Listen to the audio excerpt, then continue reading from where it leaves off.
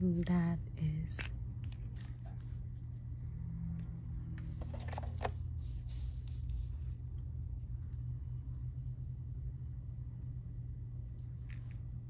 so I'm using precision glue gels.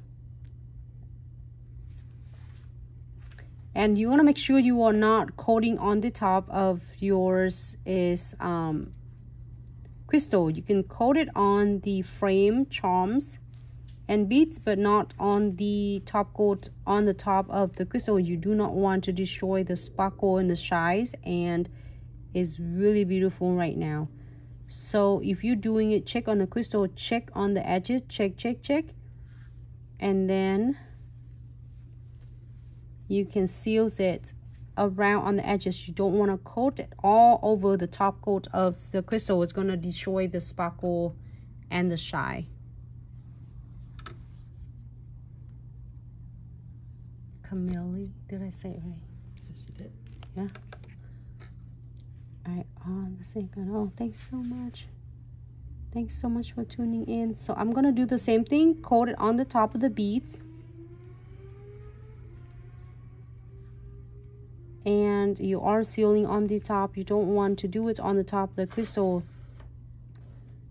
Just on the beads and check around with the crystal. If you're bigger crystals, you see is might get some um, gap that we are missing then you seal it in.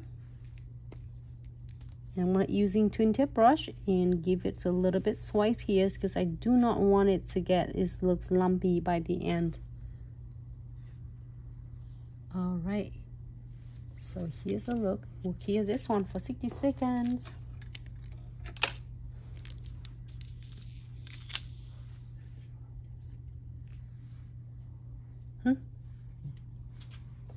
oh the kids. Yes so then i did use this one from the kids. Transcendent crystal kids this is number three. I love this one because it have also have a three drop. It's in the three colors. So you have the clear one the transcendent gold and then rosies and also is purple blue like and then also using this is four color kits which is I did for the crystal placements.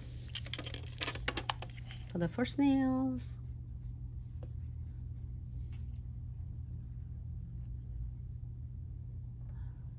Oh, somehow it's like a couple of crystal is jumping off. Let me wipe this one off. Real quick